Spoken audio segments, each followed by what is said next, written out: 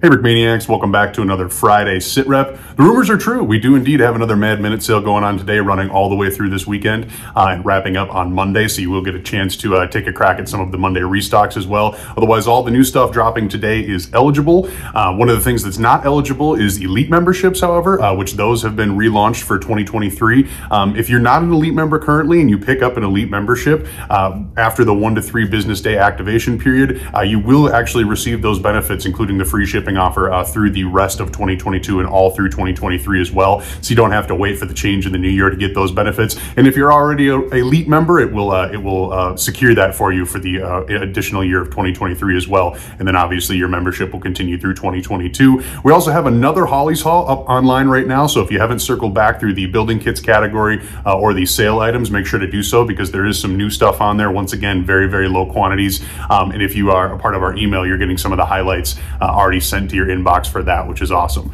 Otherwise, we've got a brand new Humvee uh, and a new minifig pack pre-order, so let's head on into the design room, take a little closer look.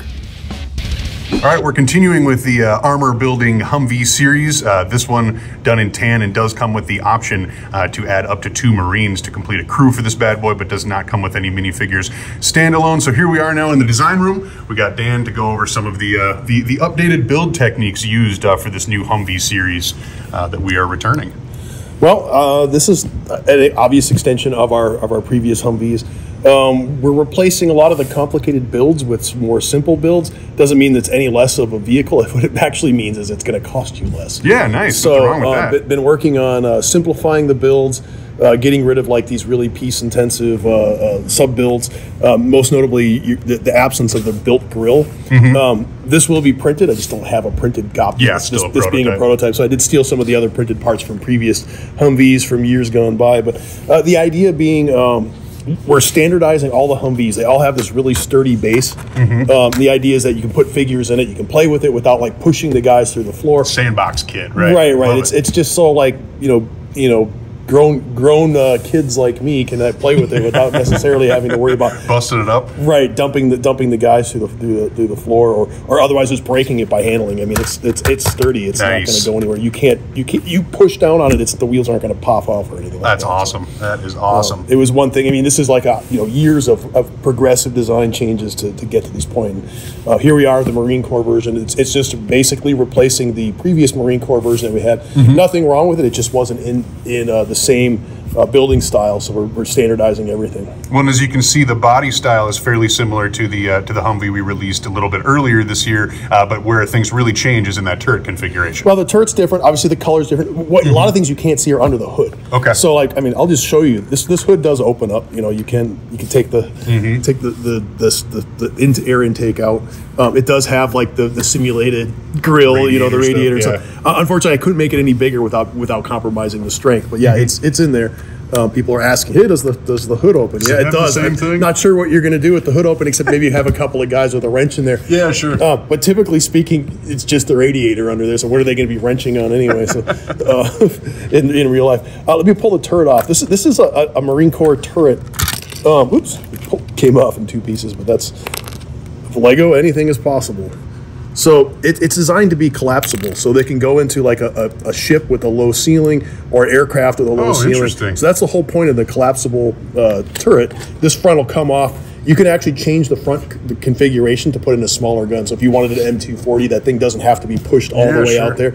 Uh, it can be it can be changed with a few parts of your own. You can you can go ahead and change that that, that turret front. Customization no options. Right, wrong with that. You know, and, and I, we will come out with one with the M240. So there will be like in the future, like oh look, this is how they do it. So mm-hmm. um, th- for now, this is it if you were like putting this inside of a vehicle, like say a heli, you know, like a, a, an aircraft or something, or a ship, you'd pull the front off. This would just lay down on top of the top of the roof before it you, gets loaded onto its LCAC. Right, right. So yeah. well, I don't think an LCAC matters height wise. Right, right. Uh, but I say like, what if you're in a, in a, in a ship that the cargo the, the cargo deck doesn't have mm-hmm. the high ceilings?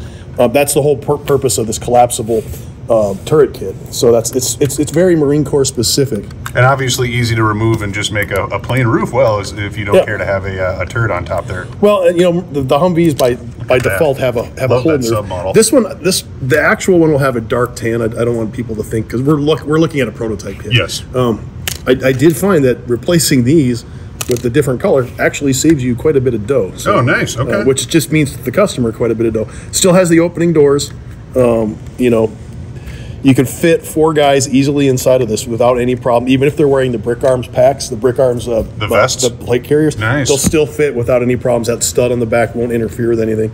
Uh, it does have the opening trunk uh, capability, and you have the spare tire can be moved, and you have the tailgate that goes down. So it's it's it's fairly like.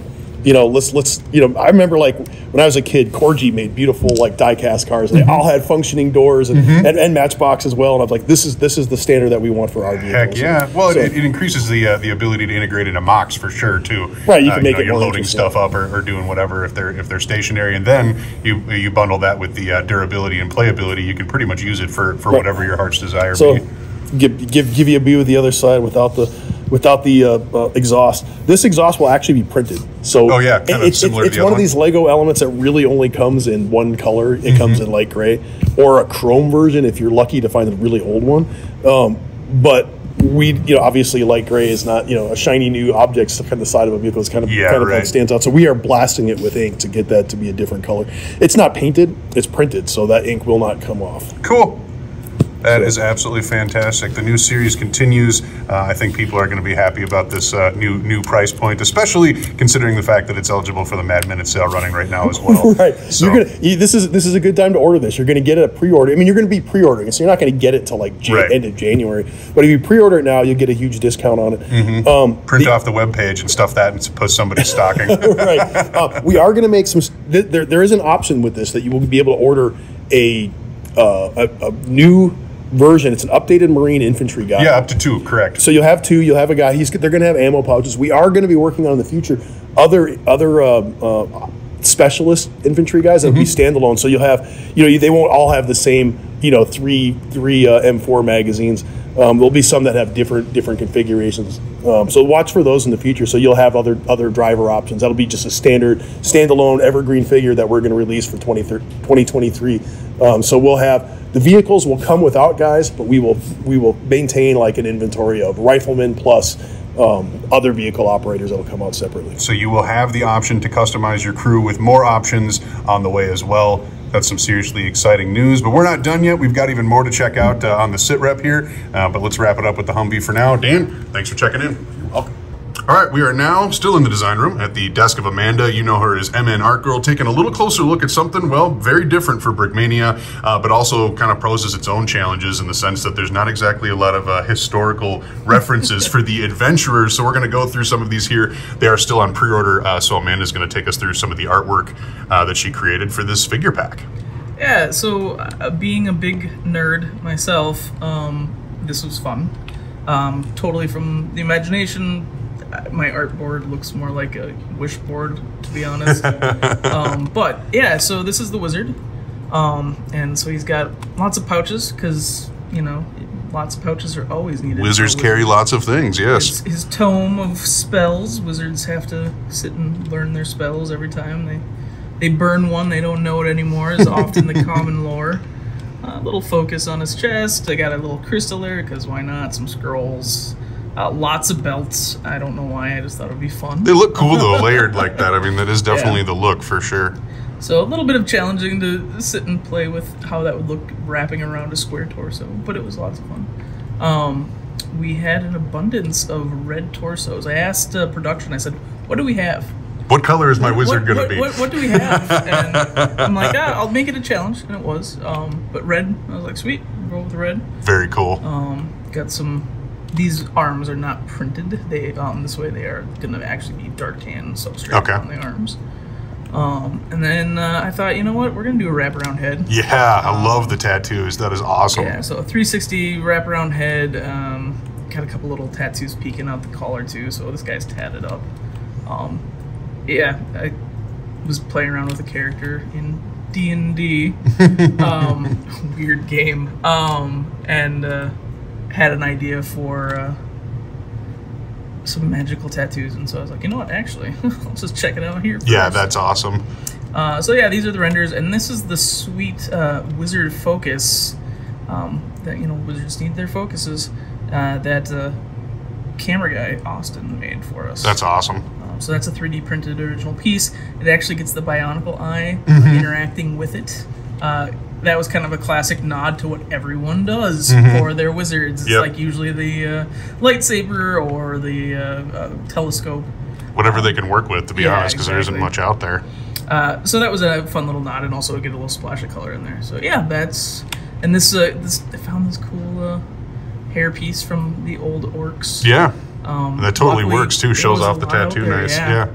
Yeah, I was I was trying to think of something that would be kind of fun. So Mm-hmm. he's he's not your traditional uh, Gandalf. I wanted to kind of there's so many awesome already made Lego versions of like the kind of grade old wizard. Yeah, right. No, this is definitely a different like- direction. I like it. yeah, some, something a little different. Mm-hmm. So Yeah, that's really cool. moving on, we have the rogue. Yeah, the dwarf rogue. I know there were some people out there who thought it was a halfling. know halflings are shorter than dwarves though, and we got we got the mini legs They can actually bend, right? Yeah, that's awesome. So That the, the awesome. teen legs, if AFOLs are out there, we call them teen legs. Mm-hmm. Then the kid legs are the ones that are static and can't move. So if we ever make that, we'll have to, you know something. That'll be the halfling. Yeah, right. Like That's yeah. funny. Uh, 3D printed uh, blade with Yeah, some awesome that out. uh, art awesome. from Slam, perfect caliber. Um, I was looking for some daggers. I'm like, I want her to have a cool dagger, and uh, yeah, I I didn't find one. So Mm-hmm. You made it. I Nothing made wrong it. with that. Shadow Blade. That's an awesome name for it too. Right? I wasn't geeking out on this. um, no, I totally was. Um, yeah, some more belts. Uh, throwing knives. throwing Love it. Throwing knives. You gotta get the throwing knives in there. They Leather armor. Is that leather kind of what you armor, got yep, going on there? Yeah. Okay. padded leather That reads super well. Ah, thanks. Yeah, that was that was fun. Um, didn't want to like over sexualize a minifig either, so I was kind of like, well, we'll play with some highlights. Mm-hmm. Well, leather armor isn't exactly like figure fitting, anyways. Um, I got some kind of cool boots on there for some stealthing. Mm-hmm. Uh, some more, so uh, they got some leather, but it's a little muted, or not leather, uh, some metal, uh, Mm-hmm. but kind of tried to keep it a little muted. Don't want to be too shiny. yeah, especially if Um, you're on the we'll if it- rooftop, like the action shot shows. Yeah, Yeah. we'll, we'll show. We'll see if it shows up um, with print. I'm hoping it does, but I kind of beat it up a little bit. Mm-hmm. Uh, you know, anything they can do to to stop the shines from happening. This right? stuff is not brand new. Yeah, yeah, and uh, and then yeah, we got kind of this badass dwarf face. You know, she's keeping it cool. Yeah, this does not look like a person you mess with, no matter how tall they are. Yeah, no, and that's that was kind of the thing. Like I was I was kind of going for a little bit of a, a, a sparky little dwarf Mm-hmm. who's out there stealing stuff. Maybe the mouth of the party. Oh, definitely the mouth of the party. Um, I also realized after I made the art that this is my sister. There you go. Came back uh, a couple days later to work on something else and was passing. I'm like, God, I know that face. I can't figure out why. Hey, sis, you're a minifig now. Um, yeah, and I was like, oh crap, that's my that, that's my sister. I kind of made my sister's face. Bit of a punk sometimes. That's cool. That's really um, cool. Yeah, it, it worked. Some Easter eggs that people would never get to know unless they watch this video. exactly. Well, and she she likes to play rogues when we play D and D. So There you go. Uh, yeah, so cool little hood, little Mm-hmm. leather piece.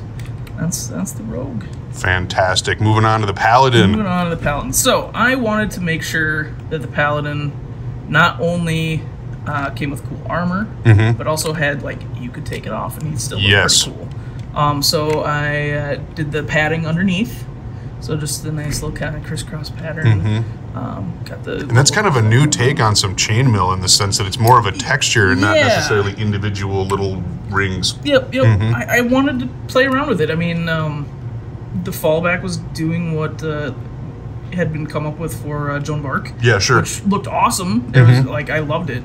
Um, but I just I was kind of like, oh, what else? It evolves. Yeah, Yeah. sure. That's really cool. See if maybe next time a combination between the 2 Mm-hmm. Um, see what we get. But yeah, so Some custom elements there you can see. yeah, so here's the uh, made up these new armor Mm-hmm. and it went with the big pauldrons, you know, pauldrons, pauldrons. Anyway, however you say words. Um, a shield.